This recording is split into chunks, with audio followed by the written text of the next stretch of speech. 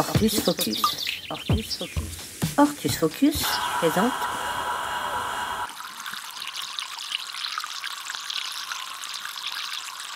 Je fais un trou. C'est pas facile parce que j'ai une terre très grasse. On dit euh, une terre amoureuse ici parce que ça reste collé aux outils. Voilà, je mets une pelletée de compost. Il y a deux plans qui sont à peu près pareils.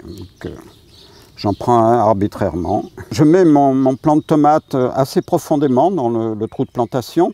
Je le couche un peu pour qu'ensuite euh, il fasse des racines euh, sur euh, ses parties basses. Je retire même des feuilles.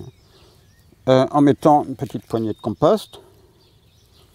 Et je remets la terre. Voilà, j'essaye de le redresser un petit peu.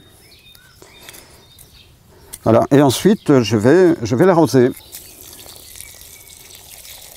C'est sympathique, je trouve, comme bruit, l'eau qui coule.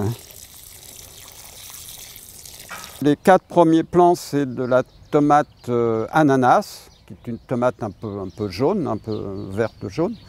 Et puis, euh, et puis bah, ce- ce- ceux-là, c'est la, tomate noire euh, de Russie. On va tout cuisiner. Et on va tout manger de toute façon en salade, ou cuisiner, ou, euh, ou à mettre en conserve. Ça va surtout euh, tenir euh, de l'humidité au sol et puis bloquer un peu la, pousse des, adventices, hein, des mauvaises herbes.